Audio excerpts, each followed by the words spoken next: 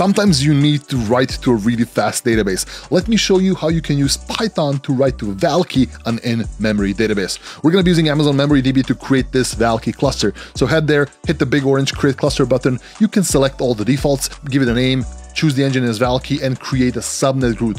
Mind you, this may take a while to create, so while it is creating, go get a coffee or something.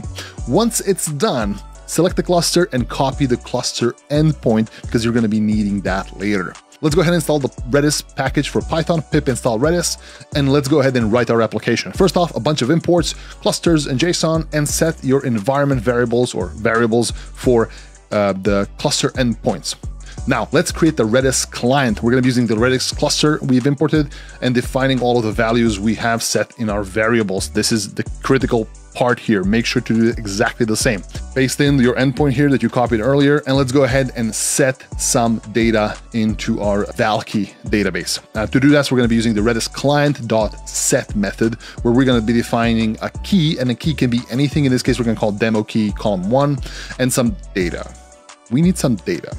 Well, let's go ahead and create some dummy data. Data, data is just a JSON object with whatever we want to put in there. So we're going to create some silly little JSON object we're going to be passing on with JSON dumps.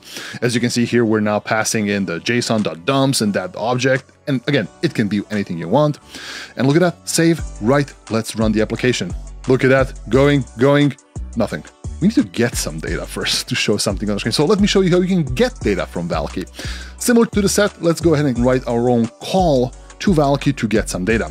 We're gonna again use the Redis client and we're gonna run it inside of a print statement. So Redis client.get and then we're gonna just define the key we want to get. That's it. In this case, it's demo key column one.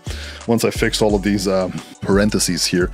Okay, save, run. Let's have, it. hopefully this works. Look at that, Python app UI. Look at that, we have data. And just like that, you can get data from a very fast in-memory database such as Valkey on Amazon MemoryDB.